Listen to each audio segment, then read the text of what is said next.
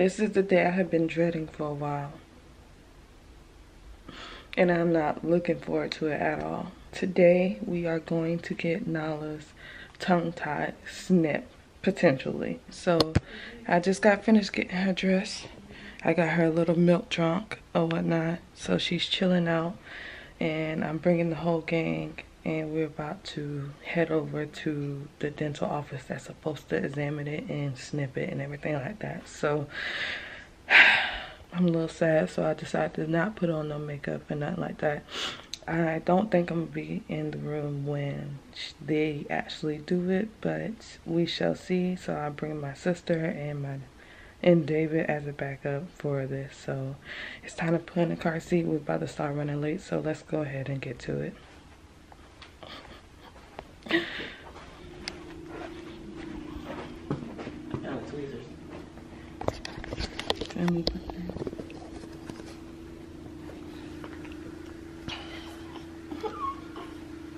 for a baby. She's gonna have her first surgery. She don't know what is to come. She's gonna do well. Is she gonna cry. Yes, she will cry. That's bad. Cause I up to cry. You okay? She's still asleep. Yeah. She gonna wake up and be in the surgery chair.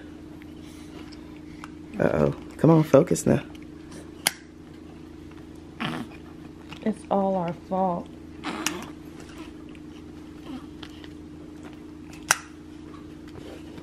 She don't know that her life is about to change.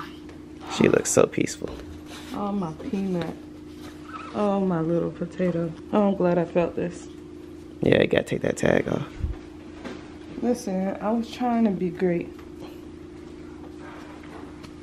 So, we're gonna get our life together and we will speak to you guys maybe in the car. Who knows? Let's just go.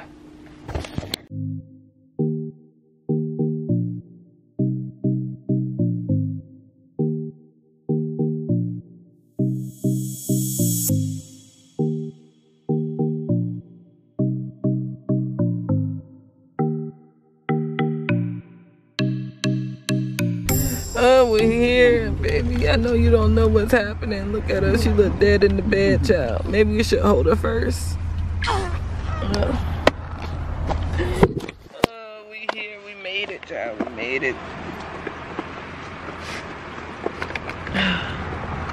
Let's try to do this quick and painful. We're a little early. So that's a good thing. That's the first. So let's head inside, see what see what things looking like. Yeah, she'll wait. Let's do three. For a corner. Put that up in a room. Mm-hmm.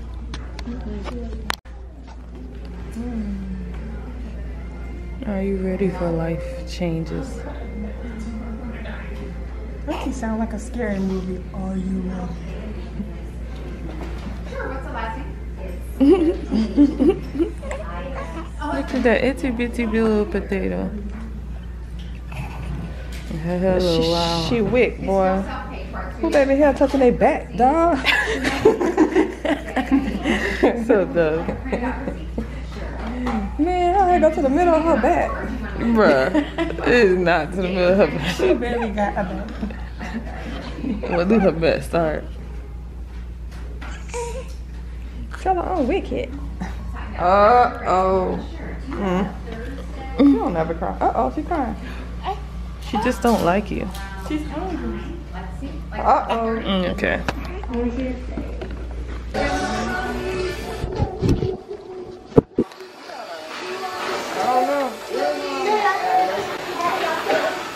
It's a pretty cool room.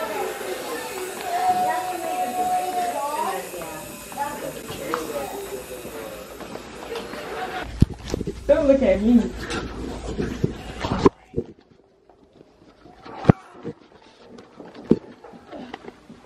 Alright, so the first set of questions that I'm gonna go over with you are gonna be about the baby, and then the second set is gonna be about you. Okay. Um, so does she experience any of the following? Does she have a poor latch? Uh, sort of, yeah. She just slips off. Okay. Does she fall asleep while attempting to nurse? Mm, sometimes. Any reflux symptoms? Like, does she spit up a lot? Not a lot. But she, All right. So while nursing, do you notice any like gumming? Like she's trying to get a good a good grip. she's definitely like chewing. Chewing. Okay. Yeah. And do you notice any popping or clicking when she is trying to nurse? I'll hear the popping. Popping and clicking? Like adjusting. Yes. Okay. okay. All right. So now these next set of questions are going to be about you. Do you have any flattening, creased, or blanches right after nur- nursing? Flattening. Flattening. Mm-hmm. Any bruises or cracked or blisters? I don't know, it's like welts, like little welts. She'll be in just in just a moment. Okay. Okay, thank you. You're welcome.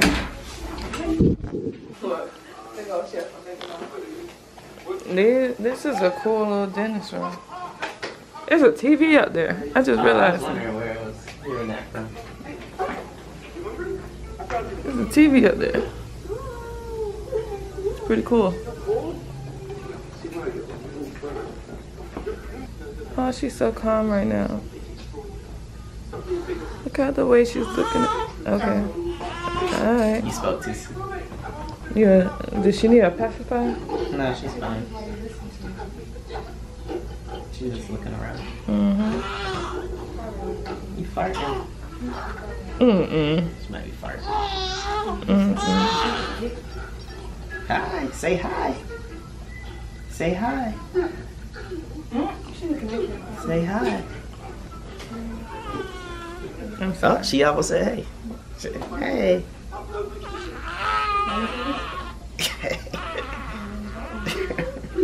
Is that her being gassy? Cause I haven't felt nothing yet. Constipated? I think she's just trying to stretch out and stuff.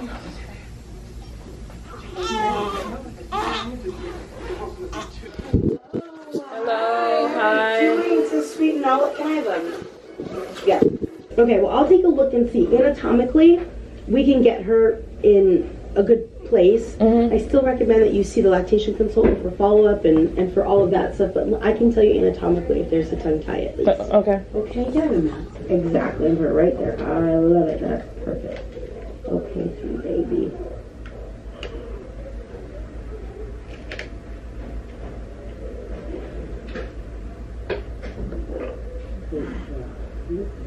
Let's see how you Is she gagged? Can you latch for me? So I'll tell you. Come in. No. Here you go. She's sucking it. She's like, "Uh, you're, I know you're fooling me. You can leave that open. There we go. Good girl. So sometimes she comes off, sometimes she stays on. Mm-hmm. I can feel that. Yeah. Um, Is I will tell you that, um, and we're trying to look for the pictures, but she doesn't have what's called an anterior tongue tie, which is good. Those are also really easy to spot. You can see it. It's like a slam dunk. You know you're going to release it. It's going to be okay.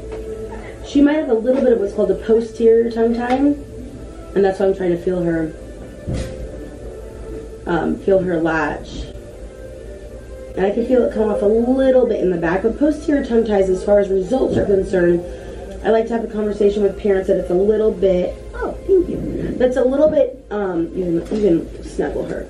Um, our expectations need to be a little bit different with posterior tongue ties. Should you choose to get it done again, anterior tongue tie I would say absolutely, let's do it. It needs to be done.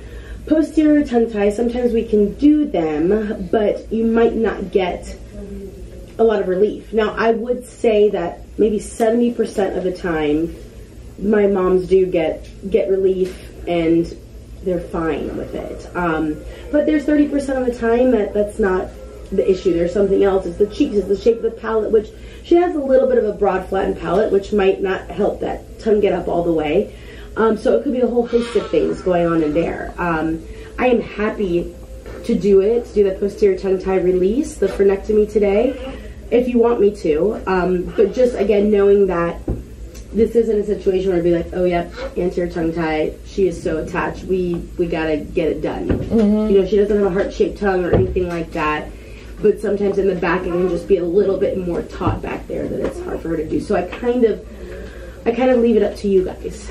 Mm-hmm. If I- it was you, that was your baby. So my thing is, this is very easy for me. I'm in the mouth all the time.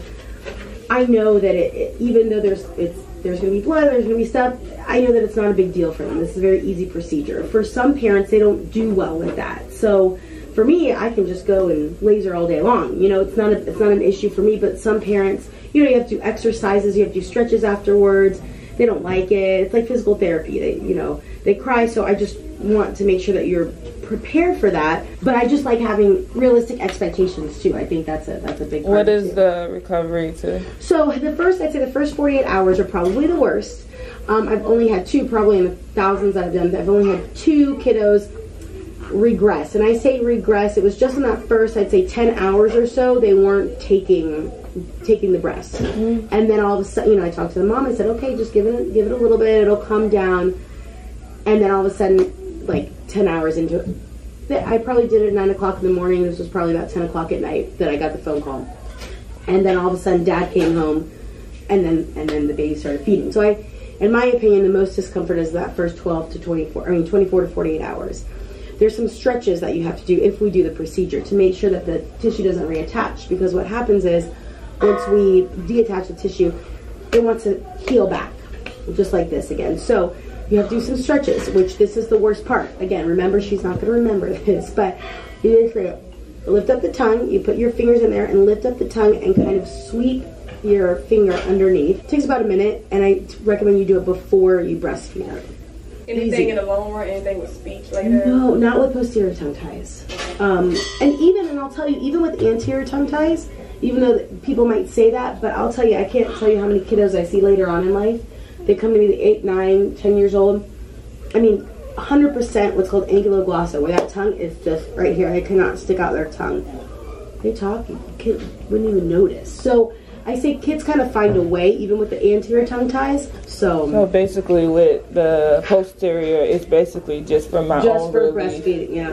What just your pain level that's the Yeah. only thing So really, that's what it is. yeah. Do you not think that having the frenectomy or whatever is help with the slipping?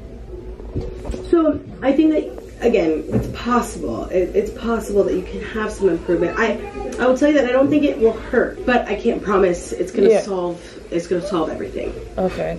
Well, I think we're gonna go ahead and ponder on it more. Okay, And then that's just fine. reschedule. Yes, and like I said, and if you want to come back and do it, you don't have to, you know. And again, it's a seventy percent chance that it's gonna.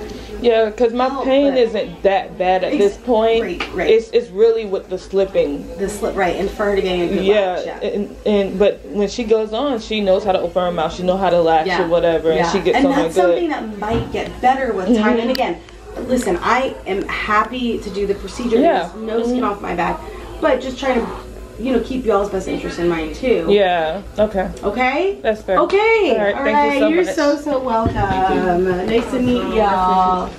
Thank you. Ugh. Look at potato. She just hanging out.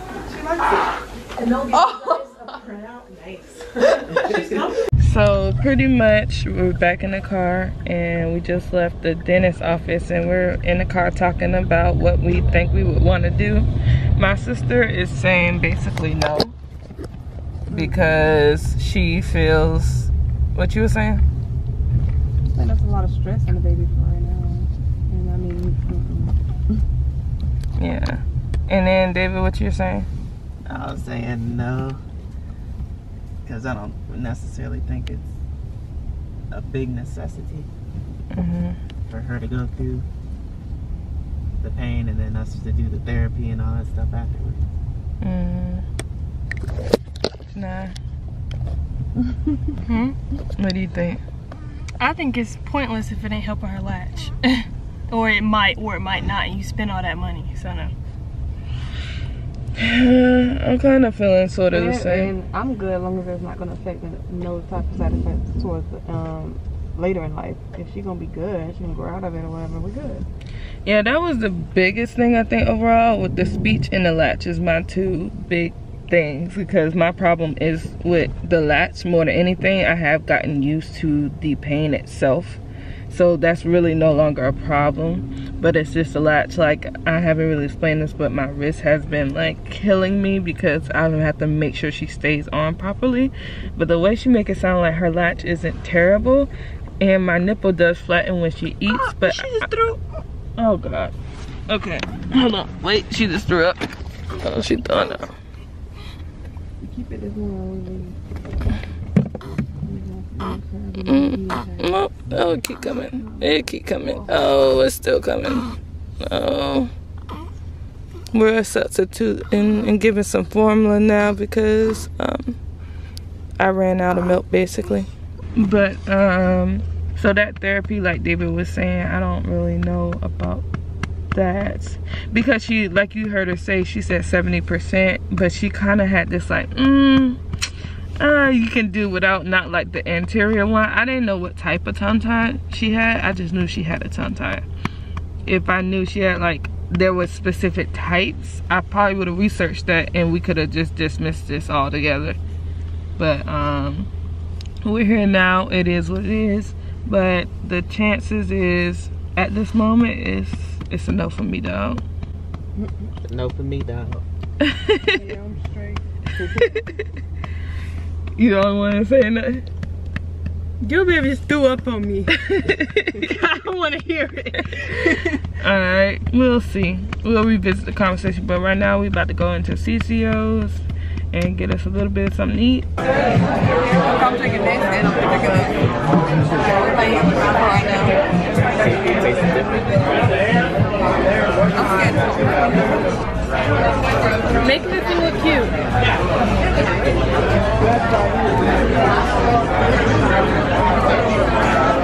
Mine, mine look basic. I didn't make it.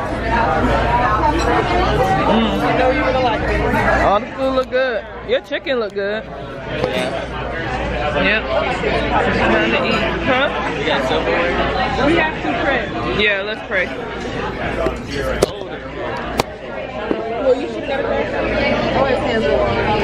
You know, thank you for blinking us up this morning, getting us through the day. Thank you for this food. What's the cancer imperative in the mouth. that eat upon it in your name? Amen. Amen. Ten dollars. You're awesome. Yeah. Everything's okay? Yeah, I'm good. Thank you. Mine's eleven dollars. Yeah, time to eat.